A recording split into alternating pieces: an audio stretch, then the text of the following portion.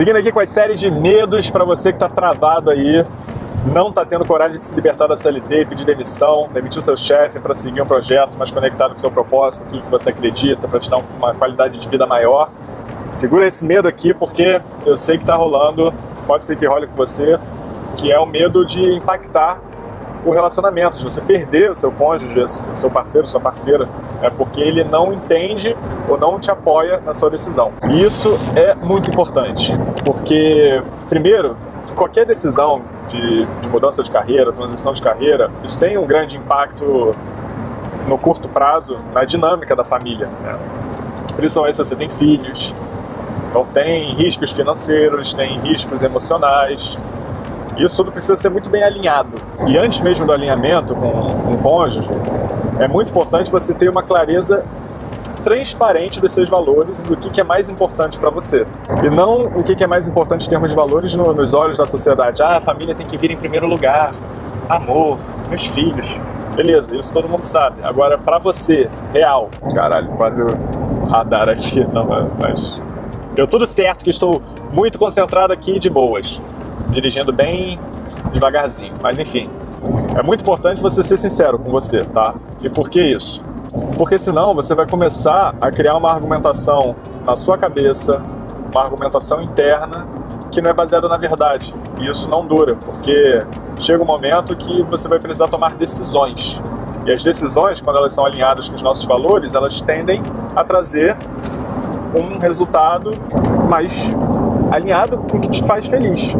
Se você fica tomando decisão só para agradar os outros ou para aparecer bem na fita da sociedade, tá fudido, vai ser sempre dependente do, do, aplauso externo. Isso não é sustentável. Então, a primeira coisa é olhar para seus valores e entender qual é o papel da família, qual é o papel do, do, relacionamento, qual é o papel dos seus filhos, qual é o papel da sua liberdade, qual é o papel de fazer o que você gosta, da, do seu, da realização profissional, entender qual é o papel disso tudo e a ordem de prioridade, o que, vem antes do que porque isso vai guiar de uma maneira mais sustentável as suas decisões, tá? Porque você precisa tomar decisões mais alinhadas possíveis com essa ordem de valores. Segundo ponto é que você precisa conversar, alinhar, expor para o seu parceiro ou parceira o que está acontecendo na sua vida e os seus planos. Porque muitas pessoas acabam guardando isso, internalizando e só esperando o momento da explosão, da bomba estourar, que é um burnout, que é uma doença, que é uma discussão e, porra, vai falar no, no, fogo da paixão, da raiva. Porra, tô abrindo mão disso tudo por causa de você!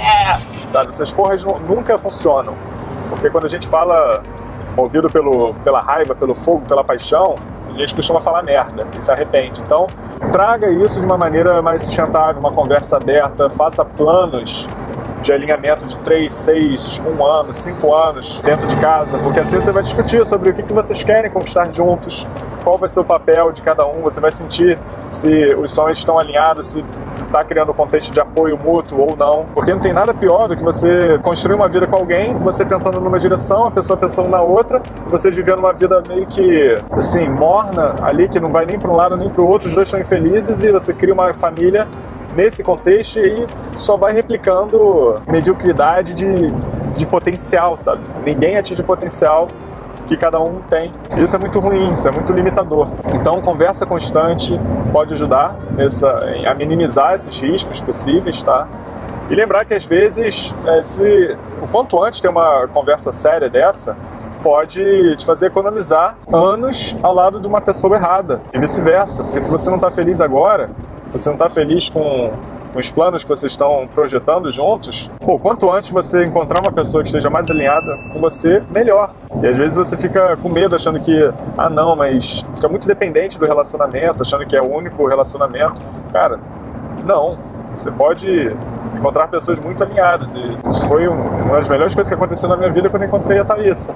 Porque era uma pessoa que desde o início a gente conversou muito sobre planos, sobre valores, sobre o que era importante pra gente. A gente adorava ter as nossas sessões de planejamento de vida, onde a gente falava de vários aspectos, desde aspectos profissionais, viagens, filhos. Desde o início a gente decidiu o nome dos nossos filhos. A bonitinha tá aqui do lado. Tá aqui do ladinho. A gente sabia que os nossos filhos Pô, a gente vai ter o Dimitri, vai ser um ruivinho, branquinho, sarado, boa pinta, né? Maravilhoso.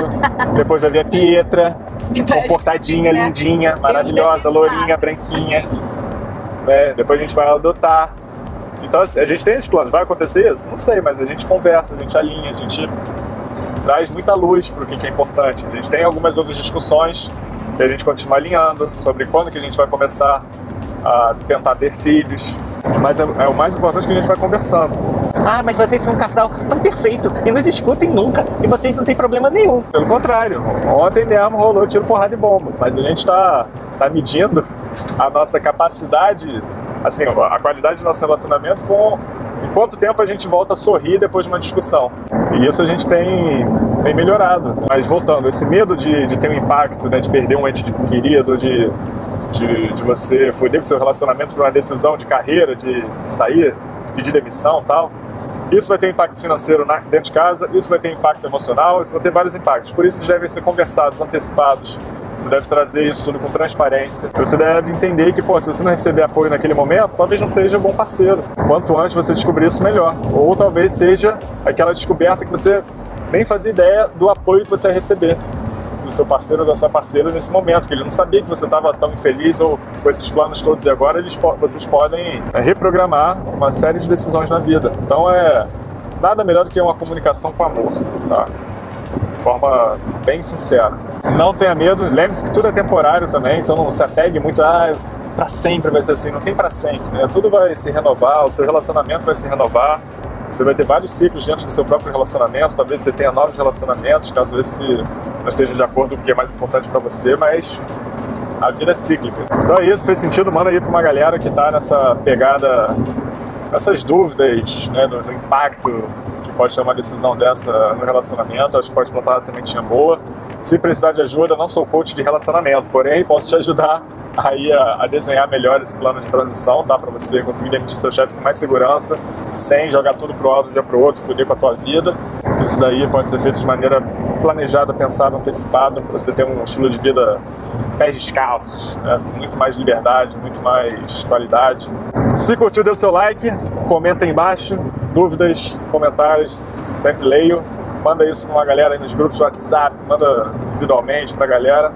E se precisar de ajuda, conta comigo. Tem um monte de formato na descrição que você pode se identificar, beleza? Seguimos.